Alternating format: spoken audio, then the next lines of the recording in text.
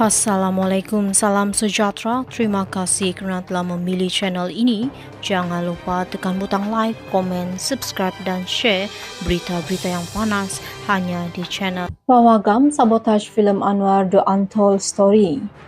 Kuala Lumpur, produksi filem Anwar The Untold Story mendakwa setengah pawagam cuba mensabotaj tayangan naskah biopik yang memaparkan kisah jatuh bangun perjuangan Perdana Menteri Datuk Seri Anwar Ibrahim itu.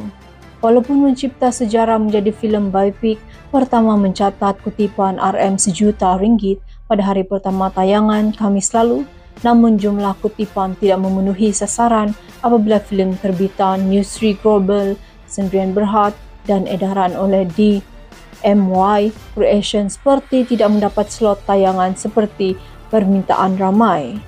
Pengerusi di MY Creation, Datuk Muhammad Yusof, mendakwa setengah pawagam enggan bekerjasama dengan memberi lebih slot tayangan untuk filem arahan pengarah Indonesia Viva Westi itu.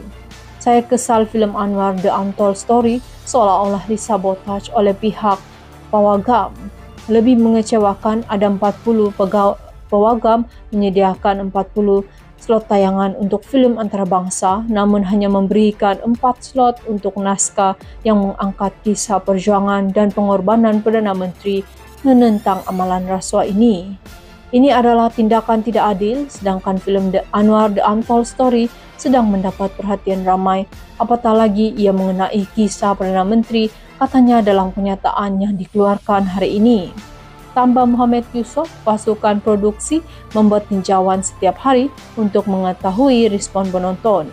Ramai penonton membuat akuan tidak dapat menonton di beberapa pegawai pawagam berikut tiada slot tayangan. Jadi kami bertindak membuat aduan kepada pihak pawagam namun keadaan masih sama pada hari ketiga tayangan semalam.